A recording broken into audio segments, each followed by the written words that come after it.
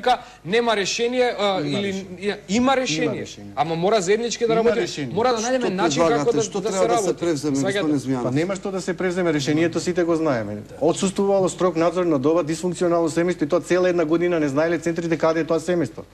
Тоа е еден момент. Втор момент што мислам дека е погрешен, Се извинам само по однос на тоа што не знаевме, само да знаете дека во рок од година и половина има сменато пет места на живење, ние не можевме три пати да алоцираме, пет, два пати да го успеавме докажам, да алоцираме. Извинете, само ништо. ова да го кажам. Центарот одзема родителско право кога ќе настане катастрофа, смрт, трагедија. Тоа не е мерка. Одземање родителско право треба да биде како превенција, значи се следи семејството, строг надзор. Не ги исполна родителот обврските привремено одземање на родителско право додека не ги исполни а, критериумите што центарот ќе ги постави. Супер, одлично. Ако и понатаму родителот отсуствува или не е присутен или не е активен, тогаш му се изрекува превентивна мерка на детето го штитиш трајно земено родителско право згрижувачко семејство затоа што тој родител едноставно од, е отсутен. Не трајно одземање на родителско право како ќе го тепа мајката детето или таткото ќе ги силува децата. Одлично. Вие ја дадовте главната поента. Тука ја зборам ја за сензи- сензибилизација на јавноста. Про, низ пример, ова вие сега што го кажувате, превентивно. Ние имавме уште еден случај во Прилеп каде што изгоре детето во, во домот, Да. во селото Мариовско. Да. Што се случува во тој случај? Ние, значи, од поради ризик и незнаење што ќе се случи со другото дете, ние изразуваме потреба дека детето треба времено да се смести кај другите кај блиски родни. Ние тогаш имаше можност за да не го сместуваме во згрижувачко семејство. Кога зборувам за јавност, зборам и за медиумите, ние сме имале коректни состаноци и има во моментов има волја кај сите медиуми во Република Македонија да се смени начинот за известување по однос на децата. Нас Кога што ни се случува? спомнавте ова веќе, да- ќе ве да- молам, мора да, да, да ве прекинам, кога го спомнавте веќе семејството Кулевски Добро. и кога спомнавте а, за случајот кога превентивно социјалните служби а, дејствувале таму за да не дојде до повреда на другото дете, а, Дарко Штарговски беше во село Штавица и го подсети. А, а, Окей. посети семејството, па да видиме во каква ситуација сега живее и како Центарот за социјални грижи во Прилеп сега се грижи за нив.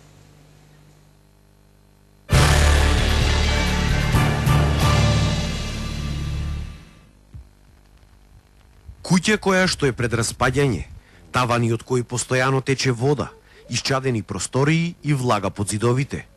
Во вакви бедни услови, заборавени од државата, се уште живее семејството Кулески од Прилепско Штавица, на кој во февруари оваа година, во несреќен случај им изгоре нивната едногодишна ќерка Билјана, која спиела во своето креветче покрај шпоретот на дрва. Ниту Гоце, ниту Марта се уште не се вработени. Едва и преживуваат за јадење со мизерните 1400 денари социјална помош. Немаат други приходи. Вела дека кога случајот бил медиумски експониран, добивале помош од хумани луѓе. Сега немаат повторно ништо. Исто па така нешто што се даде, даде. Се тоа се нема. Е пак социјално нема малце пари се. Сир, сиромашко па се живее. Тие пари се за деца за памперси. А за нас за облека нема. Тие се нема. За храна? Нема. Тоа се знае дека нема ништо. Нешто брат ми поддава тоа е. Што ќе збирам нешто вака, некој печир ќе збирам шипинг, ќе за деца збирам пари да ватам нешто да па да, за храна и за нас да има. Инаку нема ништо. Во собота која што се наоѓа на горниот спрат, поради дождовите, постојано тече вода. Се плаша дека таванот ќе се урне врз нивната новородена ќерка Елена, која дојде на свет пред 4 месеци. Затоа одлучиле зимава да ја поминат во просторијата што се наоѓа долу. Но и тука условите се мизерни. Подот е од земја, зидовите се распаѓаат. Кога на телевизија ја видела оваа беда, македонец од Канада кој сака да остане анонимен, со своји пари летово им изградил куќа во Прилеп со три соби.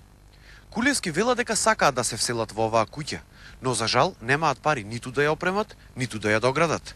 Државата вела дека досега воопшто им нема помогнато со никакви средства за изградбата на овој дом. Државата не- нема пуштено ништо до сега. Еве се вика кога ти дочира Чираник вика нема врати сега вели. И вете на други вели, ако собери ми пари, че дај ми нешто вели. Сега немаме пари вели. Не тоа ми рекол. Се утре ќе му дам пак ќе му барам нешто за социјално не се подкрена. Да ми под, подкрена, беле да се подкрена, не е подкрената социјално. Инаку токму поради лошите социјални услови и наводно за да ги заштити децата, Центарот за социјална работа од Прилеп сакаше да им ги одземе на Кулески, откако се случи трагедијата со Билјана. Но потоа државата се премисли и сега децата се повторно со нив. Но нејасно е зошто кога државата толку многу се грижи за условите во кои се наоѓаат децата, не им помогне со пари на овие луѓе. Туку ги остава повторно да живеат во беда и сиромаштија, без соодветни услови и доволно храна. Кулески велат, барем државата да ни ја догради новата куќа, за да може да имаат каков таков попристоен живот од овој.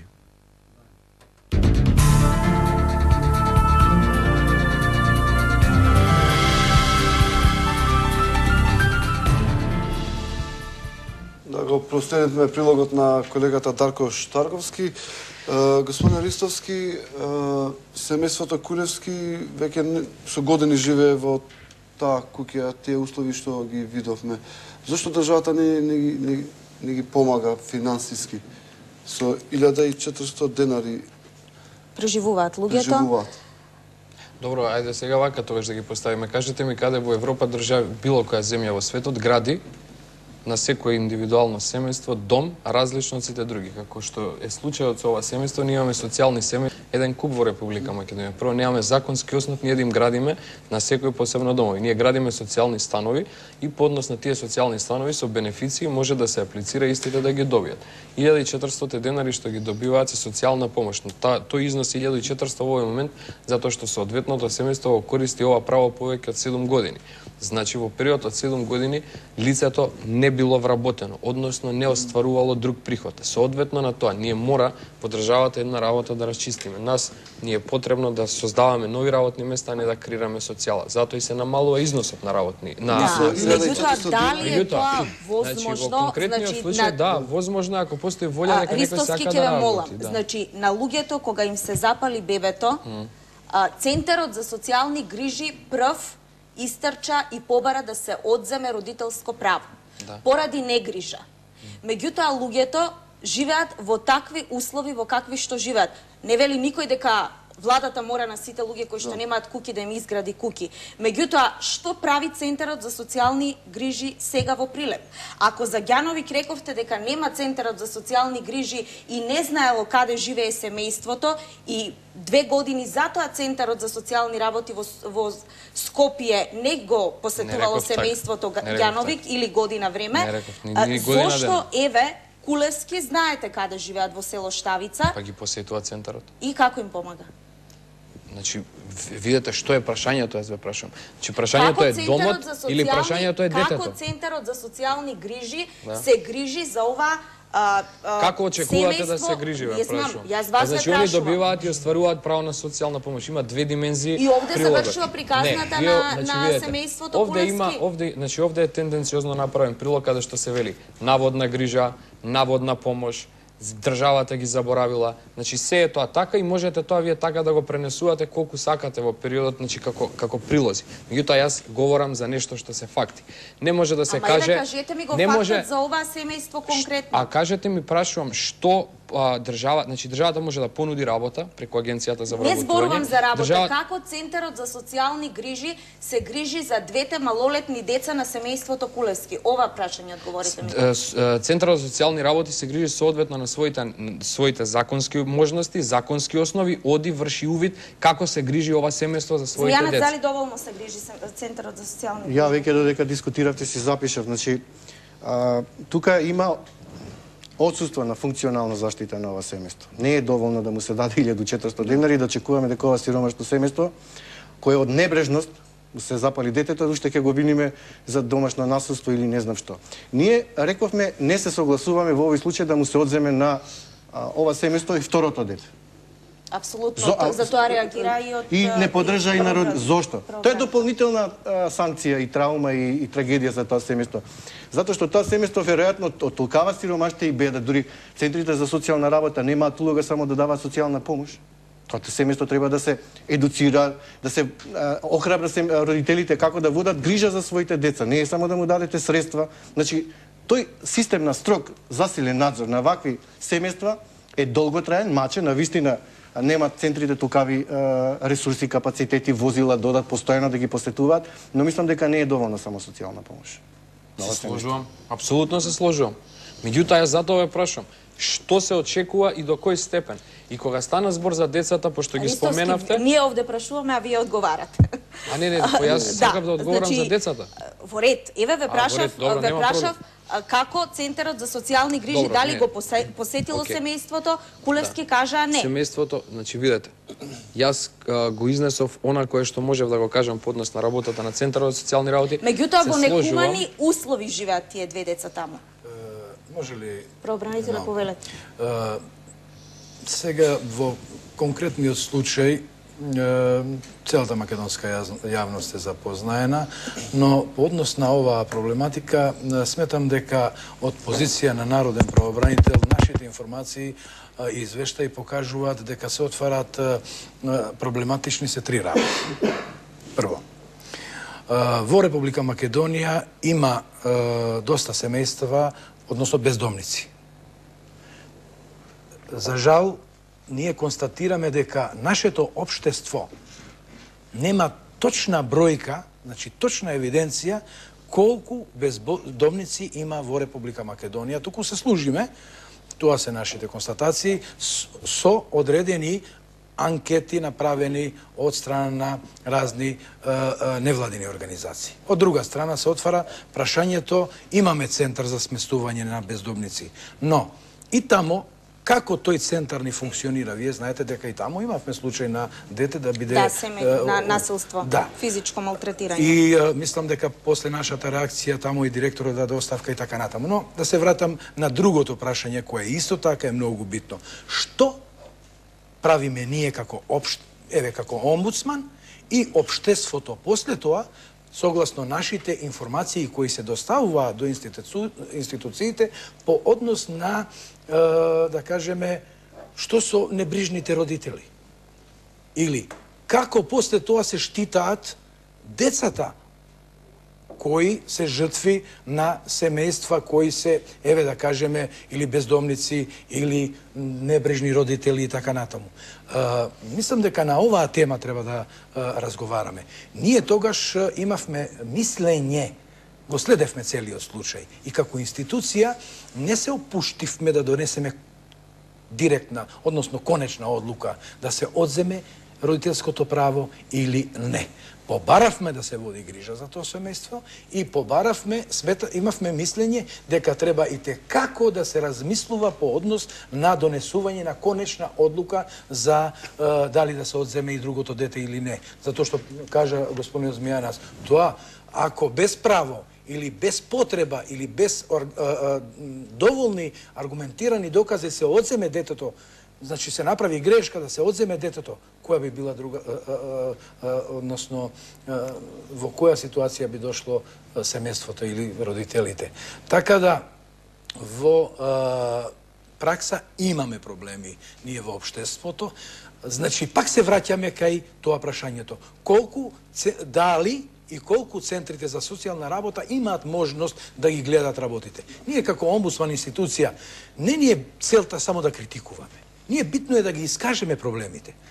Се враќаме и на тоа, во нашите информации постојат податоци и по однос на тоа колку ни се квалитетни и сместувачките капацитети и можните е, е, економски капацитети колку ги имаат нашите центри, колку се е, е, кадровски екипирани, колку можат на, си, на проблемите да излезат на пресред во сите овие случаи. Значи, сметаме дека имаме и такви проблеми, затоа и предлагаме Не може центар за социјални работи да нема да нема вработени кои мора да ги има на пример психолог, социјален работник и така натаму или возила и така натаму. Па предлагам да му дадеме предност. Добро вечер, повелете. Мислам, емисијата ви има одлична тема за разговор. Меѓутоа, телефонскиот менеджмент малку подобрете го, мислам. Нема смисла половина час да слушам емисија преку телефон. Ви се извинуваме, господине, за тоа што почекавте, повелете со Така. вашето прашање. А, па прашањето е повеќе предлог и се однесува на господинот заменик министар за социјални работи. Видите, господинот Мемети, од- м, Иџет Мемети очигледно зборува од срце, иако е нели, на функција, на една важна функција во држава. Меѓутоа, од човечки аспект се осеќа дека искрено зборува и тоа ми се допаѓа. За господинот Мијанат веќе неговата репутација како човек кој што работи во секторот на невладини организации исто така доволно зборува и она што го зборува потполно го поддржувам. Меѓутоа, како човек кој што имал допир со тие институции, пред се со Центарот за социјални работи, која што е наистина една дисфункционална институција од држава, каде што они правно формално на хартија се чисти, именно битно им е да си го задржат работното место и они функ... само нака на хартија да бидат пред законот чисти, а практично дали нешто имаат резултати, тоа воопшто ама не ги интересира. И не сум единствен во држава кој што имал прилика да тоа го доживее.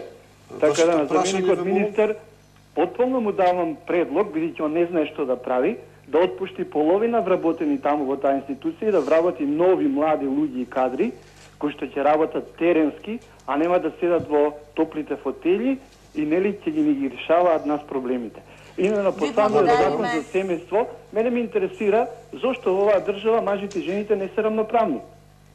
Бидејќи јас сум родител кој што има право да си ги гледа своите деца на секои две недели. Замислете, јас сум казнетата страна затоа што не сум можел да најдам заеднички јазик со мојата поранешна Ви сопруга. благодариме за јавувањето. Дали Пријатно, имаме секој е добро. А, а, господине, најм се извинува. А, господине Ристовски, а, гледачот кажа некој предлог, а, да, се разбира, не, нема да, да коментираме колку е добар или лош. Колку социјалните работници имаат можност да работат на терен? Бидејќи тоа е нивната работа, нели? Е па во тоа е проблемот што не е само тоа нивната работа и тука е оној проблем кој што го зборуваме од почеток, а тоа е градењето на капацитети.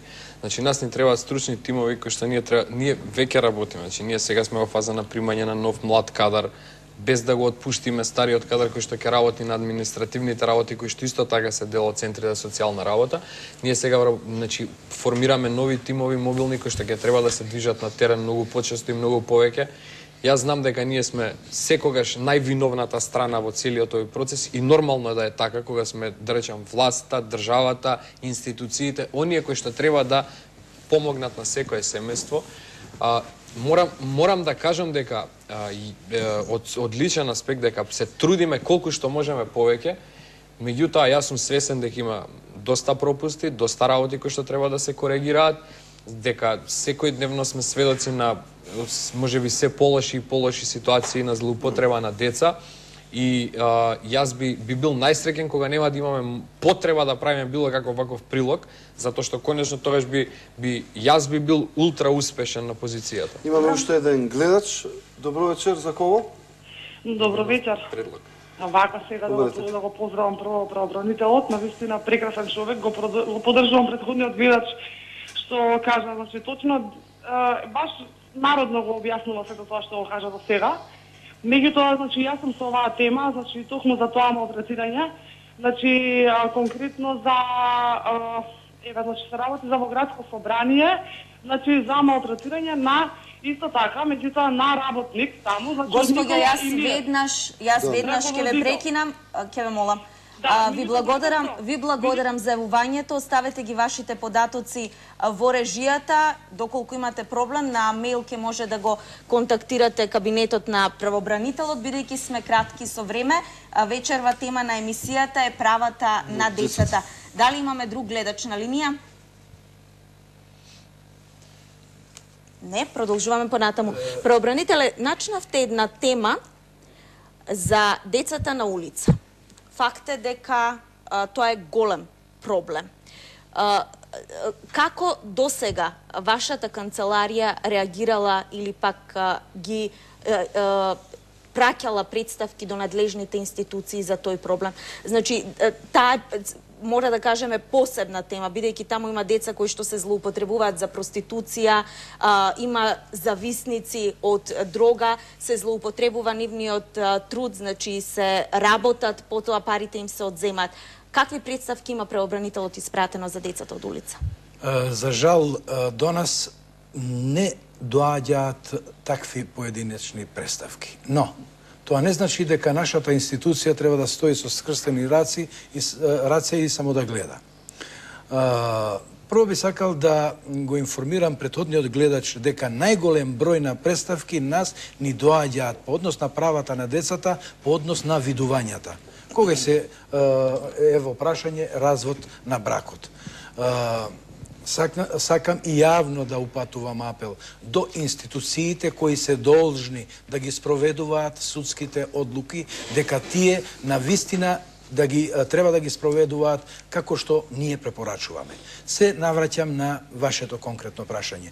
Доаѓајќи се навамо до е, вашата е, телевизија, видов е, во четири раскрсници раскрстници или семафори деца на улица.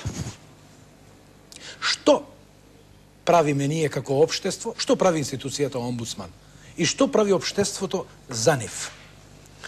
Видете, сем што институцијата омбудсман треба да укаже на тие проблематични состојби. Видете, за жал, ова ќе го кажам, не знам како ќе звучи, ама искрено ќе го кажам, тие а, во одредени случаеви и се, не се дрогираат, не земат туку а, лепак. Ние за тоа, за таа проблематика сме укажале. Значи, наш, нашата препорака би била по однос на децата на улица треба да се води реална е, е, и добра е, политика од страна на извршната власт со цел таквите деца треба од институционален аспект да бидат згрижени. Господин Ристовски, што државата прави за децата од улица? Тоа беше прашањето да. на господин Блумети.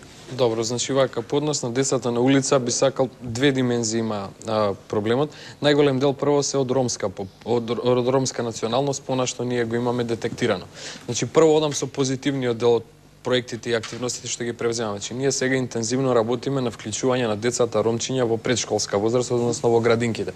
Со тоа го намалуваме влијанието, односно можноста тие деца да завршат на улица, а со тоа работиме и на, и, и на родителите. За до 2011 имаме план да внесеме околу 770 деца ромчиња во Дали детските градинки. резултати? Да, има. Значи, тој проект е еден од, според мене, најуспешните, затоа што е во првите две години веќе имаме 450 деца ромчиња кои што се дел од, од системот на предшколска детска возраст. Она е позитивното. Во делот на негативното и она што е на улица и она кое што го кажа правобранителот. Таа таа нивна представка во која што се говори дека нели конзумираат лепак и слично, тоа е точно, ние сме го тоа констатирале. Ние имаме заедно со полицијата, согласно закон за малолетничка правда, акции кои што ги правиме буквално ги зимаме децата од семафори и ги сместуваме во дневни центри. Тие таму поминуваат 8 сати. Таму ги бањаат, јадат, ги, ги учат, колку што може. Ги враќаме, тие се сепак деца од некакви семејства. И само ова да го довршам, сега за 10 на дена ќе отвориме 24 часовен транзитен центар и во тој ќе бидат задржувани децата додека на, на делот тие родители за кои што имаме потегнато кривични постапки, постапки за одзимање на родителско право, не, не ни даде насока, да речеме, и полицијата и судот како понатак. Змија? Ние имавме став дека дневните центри за деца на улица се не се доволно и не се единствено решение, затоа што тие деца по 16 часот, кога ќе заврши смената, повторно се на улица. Нивниот труд се злоупотребува, едноставно се принудувани и се злоупотребуваат и од своите родители и дури а, ги изнемуваат децата од одредени луѓе кои да. ги искористуваат да, за таа намена. Точно, точно. А, инаку, а, само да ви кажам, од нив има и многу невидливи деца кои немаат извод од матична книга. Тие се уште а, повеќе изложени на трговија со деца, детски органи, детска проституција, да не ги набројуваме најлошите форми. Инаку, се согласувам со правобранителот дека нема точни бројки за деца на улица, деца кои не одат на училиште. Но ние направивме математика еднаш во две изјави на двајца министри и министерот Мешков и Азис Положани, тој кажа дека 5% детската популација не оди во училиште. Ние пресметавме 330.000 деца колку е основношколска возраст, тоа испадна бројка од 18.500 деца кои не одат на училиште. Јас би сакал завоз за статистика да го а, аргументира тој факт, да го потврди или да не го потврди, или да го намал, да ја намал бројката или да ја допрецизираат. И стапивме стои истата бројка? Наш наше мислење е многу едноставно математички формулирано, а изјавите на двајцата министри ги имаме прочитано во дневниот печат. Второ, не можам да коментирам, мислам, не сум јас, ја, не сум ја, јас видел и сега во моментов не Министерот за образование го кажа тоа. Okay. Инаку и со една друга бројка оперираме која би сакале да ја потврдат Завод за статистика. 2000 деца се секојдневно на крштосниците. Тие деца најдобро решение за ложбите што ги кажа а, заменик министр е да се вклучат во образование. И многу е добро. Едно дете во училиште со други навики, едно дете помалку на улица. Дали треба и со тие семејства да се да се работи? Со- и со- Бидејќи овде Тоа ни беше најголемиот се, проблем. се малолетни, нели? Тоа ни е најголемата борба, искрен да бидам. Да сватат семејствата дека ние, верувајте ме, значи повеќе имавме потреба да ги убедиме родителите дека е добро нивните деца да се вклучат во градинка или во школа, отколку Да, самите но деца. родителите има друг аспект, велат, знаете, ние како ќе го пуштиме детето во училиште кога треба за самиот старт учебна година да му обезбедиме 200 Ама евра. за нив имаме гратис. Да, ама вели дека треба Не, облека, не. обувки, Не, школски прибор, топол облак, сендвич. Немаме средства едноставно да ги пуштиме, де... а и, и друг проблем има. Тие ги гледаат како деца од кои може да заработат. Е, 10 тоа е проблемот. Тоа е проблемот. Не е толку праќањето во училиште, колку што нив им се намалува така наречениот домашен бизнес. Господин Ристовски, господин Змијанац и господин Мемети, ви благодарам што бевте вечерва гости на нашава емисија, каде што дебатиравме за правата на децата.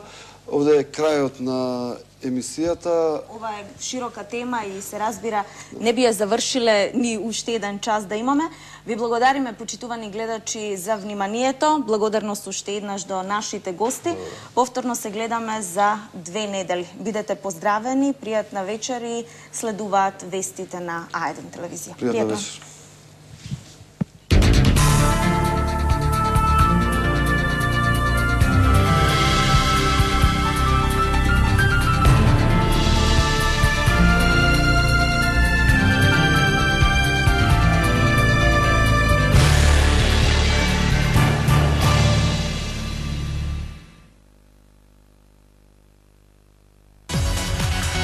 Подгответе се. Macedonian Idol доаѓа, а заедно со него доаѓа најмасовната забава досега со најголемите музички хитови и таленти кои ќе се борат да ги освојат вашите гласови.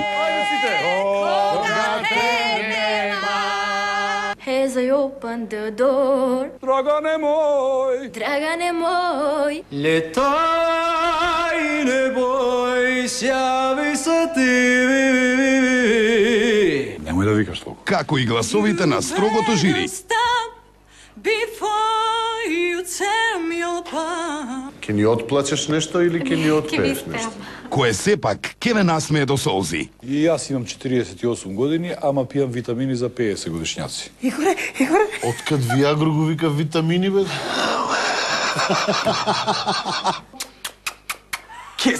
Наскоро на А1, најпознатото музичко шоу. Јан! Macedonian Idol.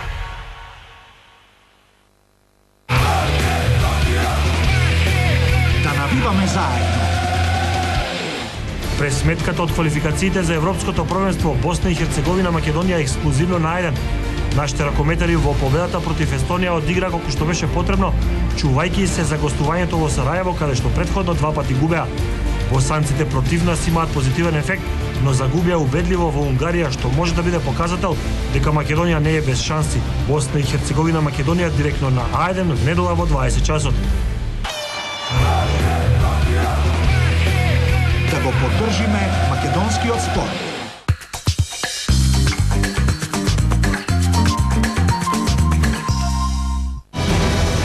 Најсовремен стамбен и деловен комплекс Космос.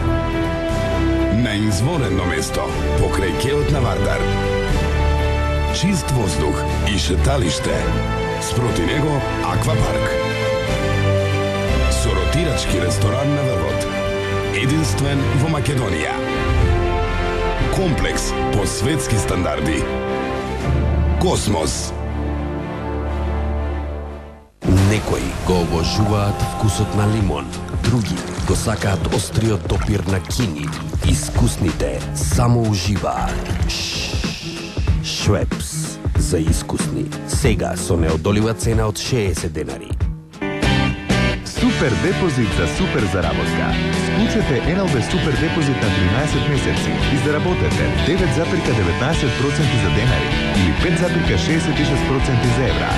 Понудата трае до 30 ноември. НЛБ Тутунска банка. Знам зошто. Открите ја иновацијата против првут од Нивеа експертите за нега. Liquid Clear системот целосно се раствора и ефективно го отстранува првутот без да остави видливи траги. За коса до 100% без траги од првут и до 100% нега на скалпот. Пробајте иновацијата против првут од Нивеа Формен. Тоа што мажите го сакаат. Најдобриот шампон против првут од Нивеа. До 100% без траги од првут. Ако не сте задоволни, ќе ви ги вратиме парите. Ќе одите лево, има едни скали. Почекајте. Има светлечка реклама. Една светлечка реклама вреди илјада зборови. Светлечки реклами ПАП Охрид. Слушнија, најдобрата понуда наменета само за тебе. Возило прогласено за нај во комфор, практичност и најмала потрошувачка од возачите во Велика Британија и Австралија. Hyundai i30 како непамор за инвестиции цена од 1090 евра. Да, Hyundai i30. Твојата приказна.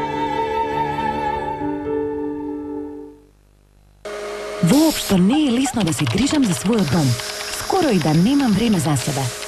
Но сега е подобро со освежувачите за ароматерапија со миризливи масла на Airwick. Миризливите масла за смирување, опуштање и релаксирање ми помагаат да се опуштам и да се чувствувам пријатно. Освежувачи за ароматерапија со миризливи масла на Airwick. Airwick. Убаво е да си дома.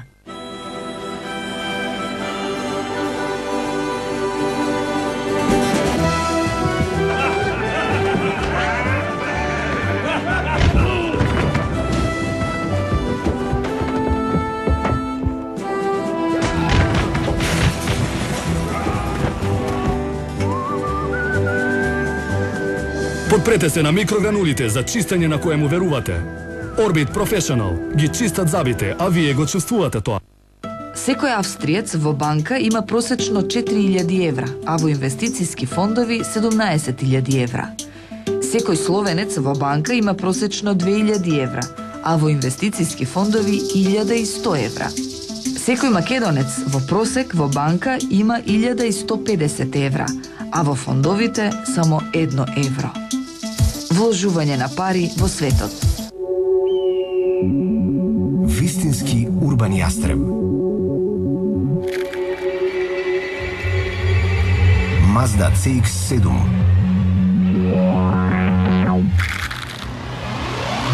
со мокен дизел мотор, комплетно опремен, со цена од 31.490 евра.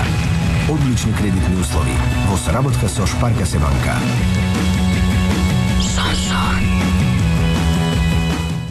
Инвестициски фондови или РИКА. Искуство во глобалните финансиски пазари. 18 години докажана словенечка финансиска експертиза. Лирика. Доверба која збогатува.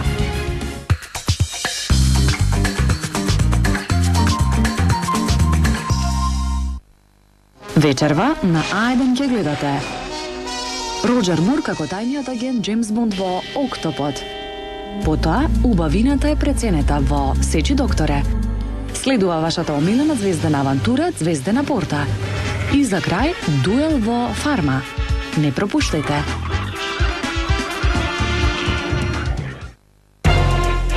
Полицијата го бара Шабан, а тој се шета низ Скопје. Амди Бајрам бесен што А1 се обиде да го лоцира неговиот син. Да ти скажете, мојата пичука тука се не... Владата чекаше идеи. Граѓаните стигнаа со нивните маки. Субвенции нема, ама страф има. Ако се пожелат, ќе останат без парите на кои чекаат. Производителите на пченица во небрано. Бедем против достоинство. Ново здружение на бранителите или уште еден обид да се замолчат ветераните.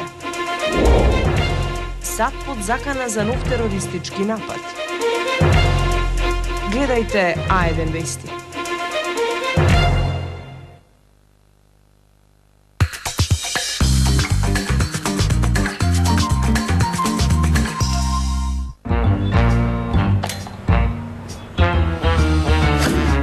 Спеглано, средено. Што е ова трошење? Скрати веќе еднаш. Кратив, мамо, и тоа за секогаш. Скратете ги трошоците еднаш и за секогаш. Станете ви постпейд корисник сега. Плаќајте пола месечна предплата за секогаш. Изборувајте за 0 денари. Во ВИП за секогаш. Повеќе за вас. ВИП. Од 9 до 13 ноември Меѓународен саем на широка потрошувачка. Агрофуд 2010 на Скопскиот саем. Агрофуд 2010. 60 години Скопски саем. Таму каде што бигорот е тешко достапен, бактериите непречено живеат во своите домови. Веценет Дискалер е непобедник под работ затоа што го отстранува бигорот и бактериите и под нивото на водата за целосна хигиена. Веценет Дискалер без бигор за гарантирана хигиена. За интензивен мирис и потполна чистота, испробајте го. Веценет Интенс. Повеќе простор за уживање. Панорамски сончев покрив. Модерен дизајн. Дизајнирана и произведена во Европа. Добре дојдовте во новата Kia Venga за неверојатни 10.600 евра. Kia Motors Македонија.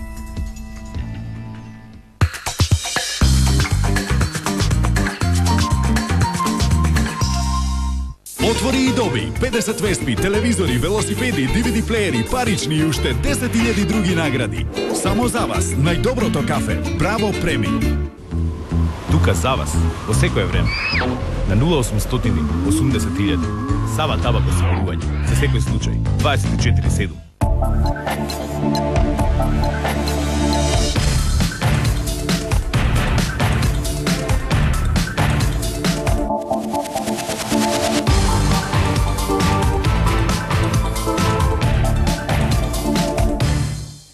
Ајден вести во 19 добро вечер. Синот Намди Бајрам обвинет за даночно затајување наместо во притвор слободно се шета низ Скопје. За Шабан Бајрам има и потерница, ама полицијата уште го нема најден. Аеден во обидот да го лоцира бегалецот вербално се судри со неговиот татко, пратеникот Амди Бајрам. Се бара со потерница, а слободно се шета низ улиците на Скопје. Синот на Амди Байрам Шабан пред два месеци добил 30-дневен притвор, а кривичниот суд издал наредба за распишување потерница, но очигледно него никој не го бара, затоа што како што потврдуваат нашите извори, тој живее и работи во Скопје, не криејќи се од полицијата.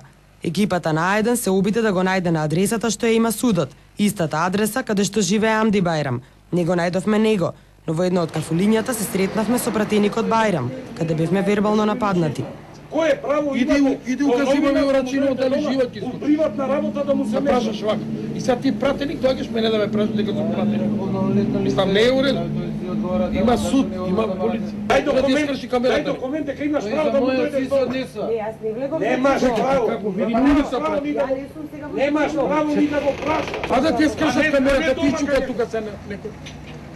Да ти истакват сега. Пратеникот Бајрам вели дека неговиот син редовно се појавува на рочиштата, но во судското решение се вели дека обвинетиот се крие, ја избегнува кривичната одговорност, а полицијата не може да го лоцира.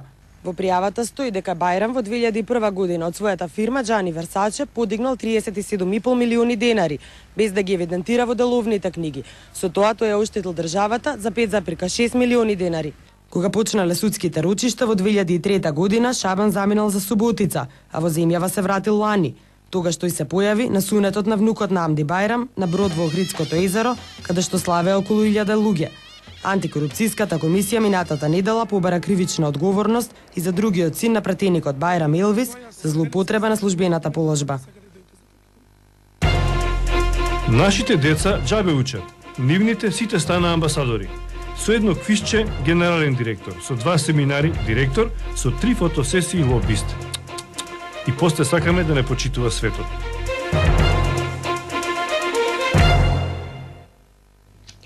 И сточарите и градинарите и производителите на житарици ова време минатата година веќе имаа земено субвенции. Оваа година уште чекаат. Производителите на пченица во небрано. Немаат пари за сеидбата, ама се плашат и јавно да проговорат, зашто никогаш немало да ги добијат субвенциите. Субвенции нема. Земјоделците во очај. Некои од нив субвенции не зеле ниту за лани. а за 2010 не ни помислуваат дека пари ќе добијат до крајот на декември. Но иако без ветените пари од државата,